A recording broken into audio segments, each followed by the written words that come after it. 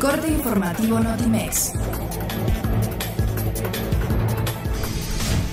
El secretario de Gobernación, Miguel Ángel Osorio Chong, señaló que se debe apostar por una buena política, la que construye y hace de la pluralidad una fortaleza, poniendo a México en primer lugar por encima de las diferencias. Esto al develar un busto de Benito Juárez en la dependencia federal que fue donado por el artista Fernando Andriachi. Corea del Sur y la vecina del norte acordaron mantener pláticas del tema militar para reducir las tensiones, durante el primer diálogo intercoreano oficial, celebrado en más de dos años en la aldea fronteriza de Panmunjo.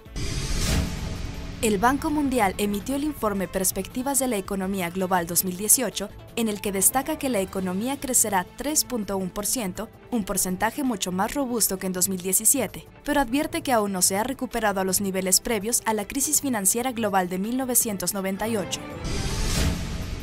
El gobernador de Veracruz, Miguel Ángel Yunes Linares, señaló que mantiene una muy buena relación con el gobierno federal y nunca lo presionó para apoyar a Javier Duarte.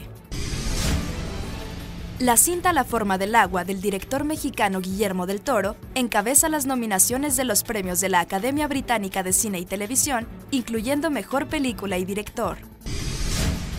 Exactamente a un mes de la inauguración de los Juegos Olímpicos y Paralímpicos de Invierno Pyeongchang 2018, se dio la apertura del Centro Principal de Prensa, el cual albergará a 2.900 periodistas acreditados. El presidente francés Emmanuel Macron anunció durante un viaje a China la próxima apertura de una antena del Centro Pompidou de Arte Contemporáneo de París en el puerto chino de Shanghái. Notimex, Comunicación Global.